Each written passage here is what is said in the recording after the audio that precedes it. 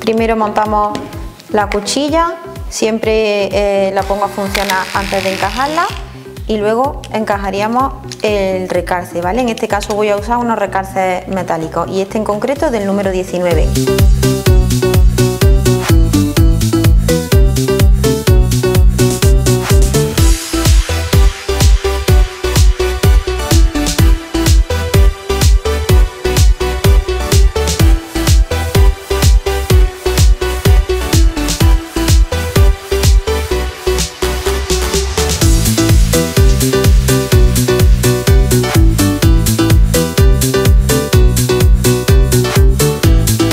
Cambio de recalce voy a usar uno un número más bajo, en este caso un 16 milímetros, para hacer un poquito más marcada la zona de la garganta, del pecho y la zona de la parte trasera de las patas.